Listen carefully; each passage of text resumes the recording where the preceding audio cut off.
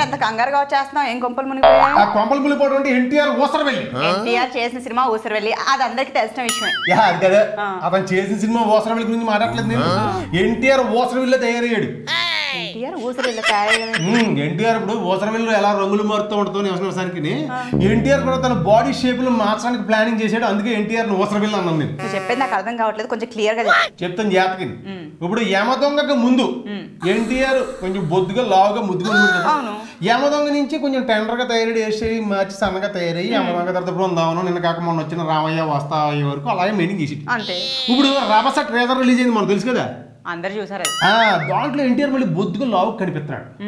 అంటే నా డౌటింగ్ ఏంటంటే ఫర్దర్గా మళ్ళీ ఎన్టీఆర్ పాత ఎన్టీఆర్ లా మారిపోయి బొద్దుగా లావుగా అవ్వబోతున్నాడు అనేది తెలిసింది. అందుకే ఓసర వెళ్ళి రంగులు మార్చినట్టు మనోడు బాడీ షేపులు మార్చేస్తున్నాడని ఓసర వెళ్ళి అన్నా.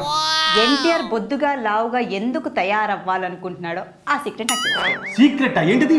ఇప్పుడు యమదొంగకు ముందు మన ఎన్టీఆర్ బొద్దుగా లావుగా ఉండి సింహాద్రి లాంటి బ్లాక్ బస్టర్ హిట్ని అందించారు. కరెక్ట్ ఆ తర్వాత యమదొంగ నుంచి ఇప్పటి వరకు ఆ. రేంజ్ హిట్ ఇవ్వలేకపోయాడు. అందుకే ఇప్పుడు కొంచెం బొద్దుగా లావుగా తయారైపోయి మళ్ళీ సింహాద్రి లాంటి బ్లాక్ బాస్టర్ హిట్ ఇవ్వాలని ప్లాన్ చేస్తున్నాడు.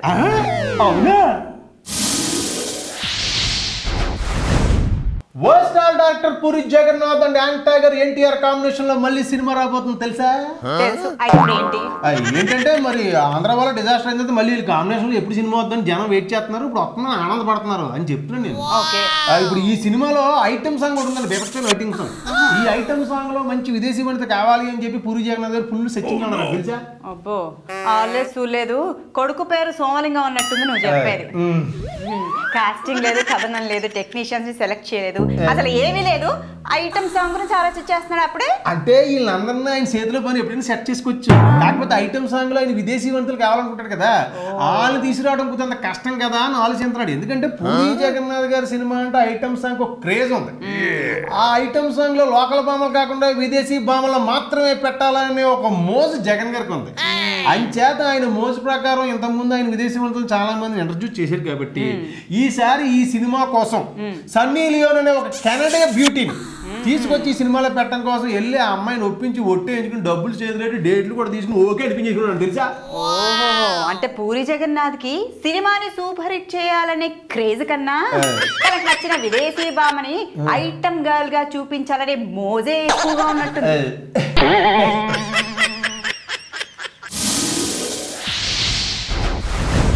ఇదిగా మన హీరోయిన్ శృతి హాసన్ క్రికెటర్ రైనాతో డేటింగ్ చేస్తుందంట. అలాంటిది ఏమీ లేదని ఆ అమ్మాయి మరి అమ్మాయి ఎలా చెప్పింది? మరి మీడియా ఏమో చేస్తుందని చెప్తుంది. అమ్మాయి చెప్పింది నమ్ముతావా? మీరే చెప్పింది నమ్ముతావా? న్యాయంగా అమ్మాయి చెప్పింది నమ్మాలి. మరి ఆ అమ్మాయి చెప్తుంది ఈ పక్కనేమో మీడియాలో చెప్తుంది. సర్లే కదా నాలుగు ఊరుకుంటే మళ్ళీ అమ్మాయి ఎలా చెప్తుంది? మీడియాలో చెప్తుంది? ఇది ఏంటి అర్థమగా నీతో చెప్తున్నాను నేను. చూడు శృతి నువ్వు డేటింగ్ జోలికి వెళ్ళకు. ఎందుకంటే నువ్వు ఇప్పుడు మంచి క్రేజ్లో ఉన్నావు. ఆ. ఒకవేళ వెళ్ళినా మీడియా కట్ట పడకు. వాయిస్ ఇప్పుడు మన తెలుగు హీరోయిన్ శ్రీదేవి గుర్తుందా? గుర్తులేదు మనసారా సినిమా ద్వారా మనందరి మనసును దోచుకుంది ఆ తర్వాత బస్ స్టాప్ సినిమా ద్వారా మరింత క్రేజ్ని సంపాదించుకుంది కదా పాప అంత క్రేజ్ తెచ్చుకుని ఈ పిల్లకి తెలుగులో అవకాశాలు లేవు తెలుసా ఉండవు మన తెలుగు అమ్మాయిలకి తెలుగు ఇండస్ట్రీలో అవకాశాలు రావు. మన రాజోల్ పాప అంజలి లేదు. తెలుగులో రెండు సినిమాలు చేసింది. ఒకటి రిలీజ్ అయింది ఒకటి రిలీజ్ అవ్వలేదు.